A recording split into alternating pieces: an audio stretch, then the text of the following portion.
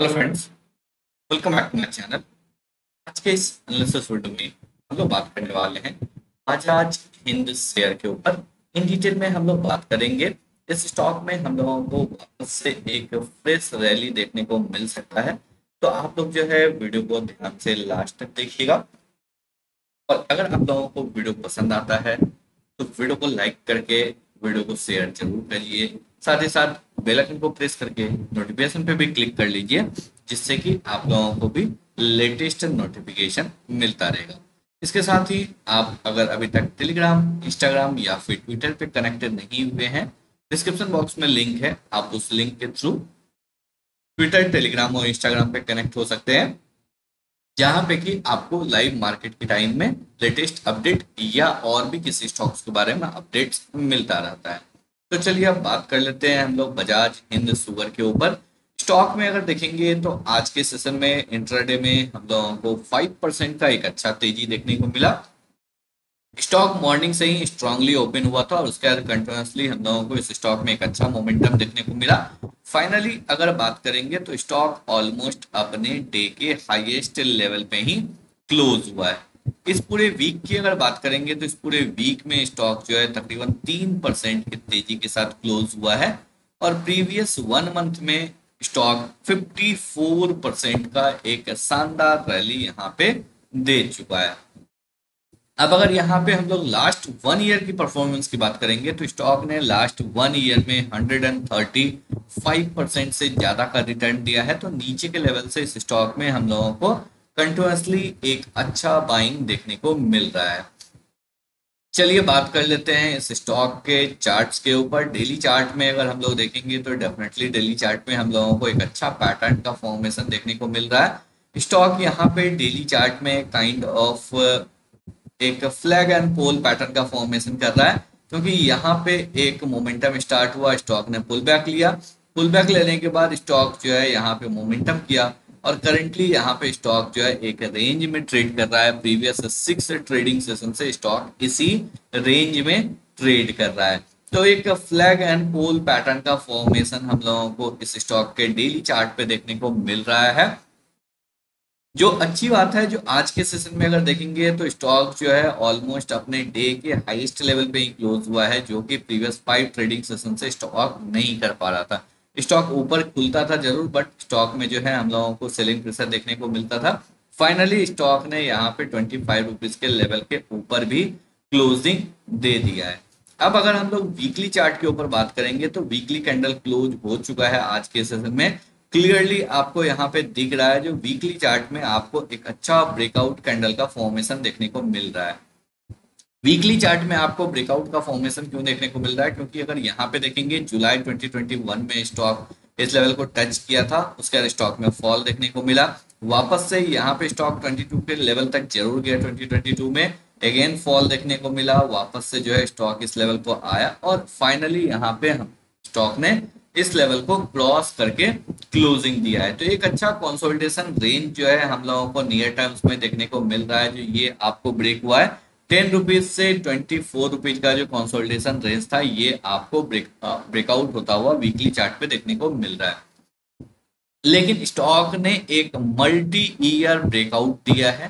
कौन से लेवल पे दिया है? यहाँ पे मंथली चार्ट के ऊपर हम लोग अगर बात करेंगे मंथली चार्ट के ऊपर चलते हैं और यहाँ पे अगर हम लोग देखेंगे तो स्टॉक में क्लियरली आपको दिखेगा जो अगस्त मंथ का कैंडल जो क्लोज हुआ है। अगस्त मंथ का जो कैंडल क्लोज हुआ है, वो आपको 2015 के बाद 2015 के जुलाई 2014 के जुलाई मंथ के बाद स्टॉक जो है फ़र्स्ट टाइम इस लेवल के ऊपर क्लोज दिया है। ट्वेंटी टू रुपए ट्वेंटी थ्री रुपीज़ के लेवल के ऊपर स्टॉक जो है आपको नाइन ईयर के बाद क्लोजिंग दिया है। तो एक अच्छा क्लोजिंग है। लास्ट टाइम जो है twenty two rupees twenty, two twenty three rupees के लेवल के ऊपर स्टॉक ने आपको क्लोजिंग दिया था।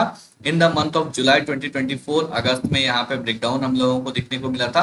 उसके बाद से डेफिनेटली यहाँ पे मल्टीपल टाइम स्टॉक ने इस लेवल को हिट करने की कोशिश किया है। यहाँ पे हिट भी किया है। यहाँ पे रिटेस्ट किया अगेन 2016 में 17 में यहाँ पे ब्रेकआउट करने की कोशिश किया, नहीं कर पाया। 2021 2022 में यहाँ पे ब्रेकआउट करने की कोशिश कर पाया, नहीं कर पाया। फाइनली जो है, यहाँ पे आपको ब्रेकआउट कैंडल का फॉर्मेशन हम लोगों को देखने को मिल रहा है। तो एक मल्टी ईयर ब्रेकआउट है। नाइन ईयर के बाद स्टॉक ने यहाँ पे ब्रेकआउट दिया है। अब इस स्टॉक में हम लोगों को फ्रेश तेज़ी देखने को मिल सकता है। स्टॉक अगर हम लोग यहाँ पे बात करें तो स्टॉक जो है ऊपर की साइड में 200 के लेवल के साइड जा सकता है। क्योंकि यहाँ पे स्टॉक में हम लोगों को काइंड ऑफ़ एक राउंडिंग बॉटम पैटर्न का फॉर्मेशन देखने को मिल रहा है, जिसका कि हाफ़ पोर्शन हम लोगों को यहाँ पे कंप्लीट देखने को मिल रहा है। तो 2014 से एक बेस बना रहा था।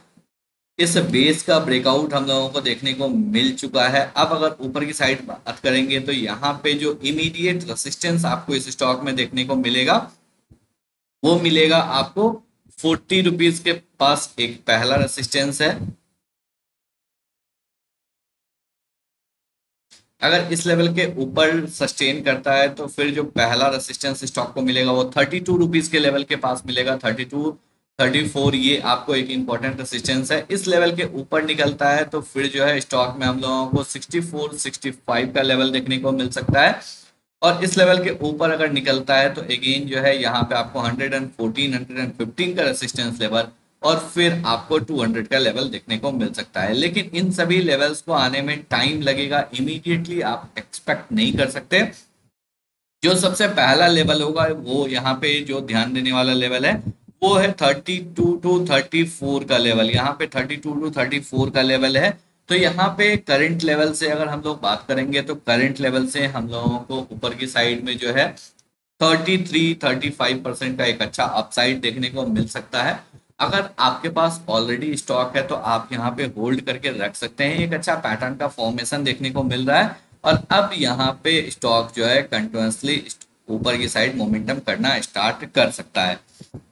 तो इसी वजह से जो है अगर आपके पास ऑलरेडी है, आप होल्ड करके रखें।